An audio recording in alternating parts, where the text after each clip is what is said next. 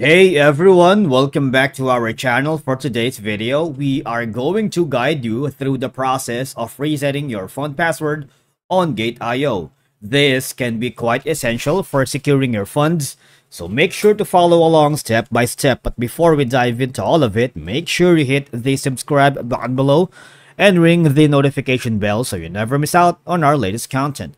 Okay, changing your uh, reset fund password on Gate.io can be have a lot of reason because for one if you find if you find your fund password has been compromised or if you want to create a stronger more secure password we believe you should reset it. But before we can reset it you might want to go in on uh, gateio.com right? Log in using your credentials. And once you've done that go to your account settings and on the uh you hover to uh, security settings here.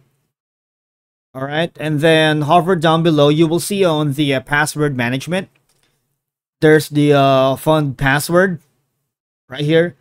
So you have the options to have never every one hour every time. And and if you want to set it up right here okay just click on that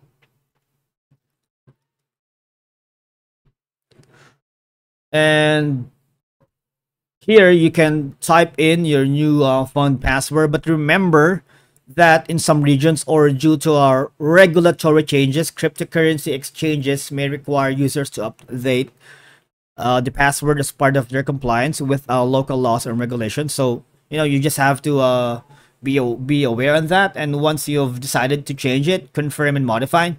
And if by any chance you are lost during the navigation process, I suggest you go here at help section. This is where you can find how to reset fund password here, right? It's a step-by-step -step guide on resetting your fund password, all right? And but remember, as always, the fund password is a critical element in securing your cryptocurrency holdings. So it's advisable to reset it if you have any concerns about your security, right?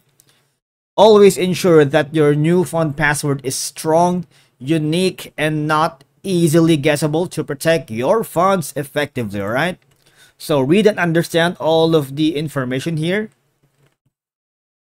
And if you still have problems, just click on the uh, on this uh, help center here and you can talk to a live agent or chat with the uh, support um, team Thank you for watching and I'll see you in the next one.